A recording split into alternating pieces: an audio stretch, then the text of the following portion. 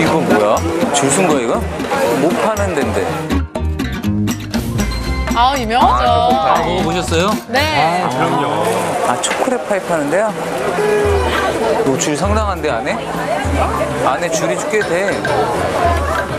줄을 서시오. 가게 안에서부터 바깥까지 줄 선 사람들이 많더라고. 이집 유명한 집이에요? 아 설마 네. 왜요? 맞네 괜찮아요? 네이집 맛있어요? 맞아 맞아 어 잘생겼어 어? 어 진짜 어떡해 어, 어 진짜 어떡해 어 나 그 아니 맛있냐고 물어보잖아요. 어, 대박 네 맛있어요 유명한 집이에요?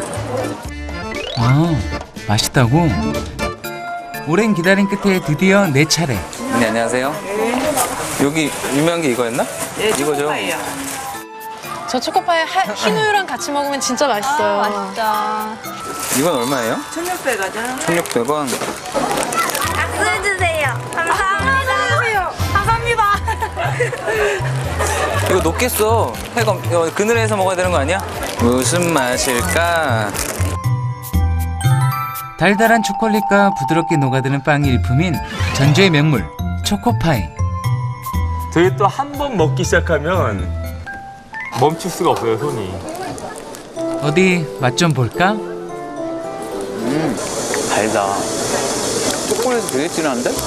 음, 딸기잼이 들어, 딸기잼도 들어가 있구나. 근데 안에 뭐 견과류도 들어가 있는 것 같아. 아닌가? 호두! 호두 들어가 있구나. 초코파이라서 진짜 마시멜로 같은 거 뭐 이런 거 들어가 있는 줄 알았는데 이 생크림에 딸기잼에 견과류랑 달긴 한데 난 좀 땡기는 단맛인 것